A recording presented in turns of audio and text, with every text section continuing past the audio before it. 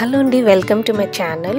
ఈరోజు ముల్లంగి పెసరపప్పుతో ఫ్రై ఎలా చేయాలో చూద్దాం. పెసరపప్పు ఒక హాఫ్ కప్పు కడిగేసి నానబెట్టుకోవాలి. ముల్లంగి ఒక హాఫ్ కేజీ. బాగా తురిమేసి ఇలా నీళ్ళనంతా స్క్వీజ్ చేసి పక్కన పెట్టుకోవాలి.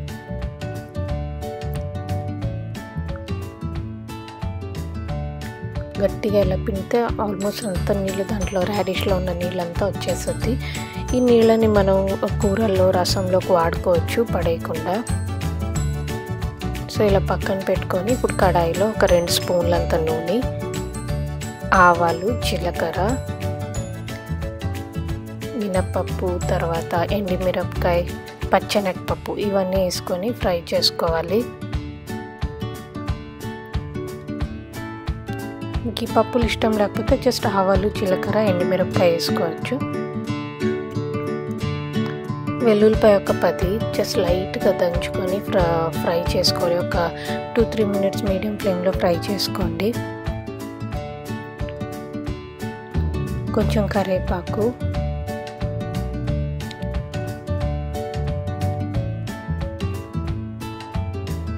ఇప్పుడు ఫ్రై అయ్యాక ముల్లంగి ఇలా తులుము పెట్టుకొని ఉన్నాం కదా స్క్వీజ్ చేసి. ఇవి తర్వాత పెసరపప్పు ఒక హాఫ్ అన్ అవర్ దాకా అన్న నానబెట్టున్నాం కదా ఇవి వేసుకోవాలి వాటర్ అంతా తీసేసి జస్ట్ పెసరపప్పు మాత్రం వేసుకోవాలి.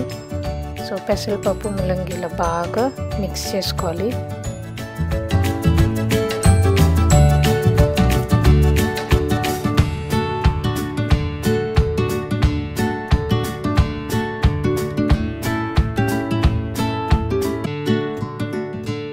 కొంచెం ఒక రెండు చిటికడంతా పసుపు.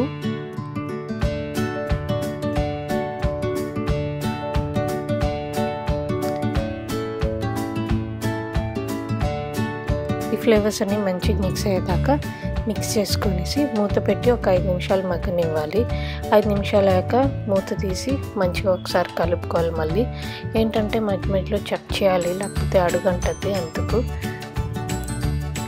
దీంట్లో మళ్ళీ మిక్స్ చేసి ఐదు నిమిషాలు మళ్ళీ మూత పెట్టి ఉడకనివ్వాలి. ఇప్పుడు ఉప్పు వేసుకుందాం.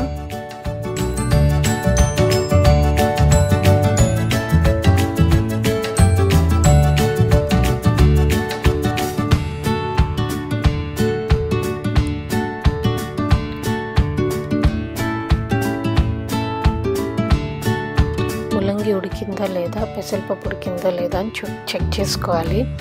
ఉడకకపోతే ఇంకాసేపు మూత పెట్టి మగ్గనివ్వాలి. బట్ బాగా మాకు ఉడుకుంది. ఇప్పుడు వచ్చి తాలింపుల పొడి ఒక రెండు స్పూన్లు. తాలింపుల రెసిపీ వచ్చి నేను డిస్క్రిప్షన్ బాక్స్ బాక్స్లో పైన లింక్లో end of the screen share చేసుకుంటాను. ఇప్పుడు కొంచెం కొత్తిమీర ఇచ్చి మంచిగా మిక్స్ చేసుకోవాలి. మిక్స్ చేసుకుంటే ఇంకా అంతే అండి. ముల్లంగి పెసరపప్పు తాలింపు తయారైపోయింది. చపాతీస్లోకి అన్నంలోకి పప్పులోకి సైడ్ డిష్గా టిఫిన్ బాక్స్కి జస్ట్ రైస్తో కూర మిక్స్ చేసుకుని పెట్టినాను చాలా బాగుంటుంది. మీరు ట్రై చేసి ఎలా వచ్చిందో చెప్పండి. Thank you.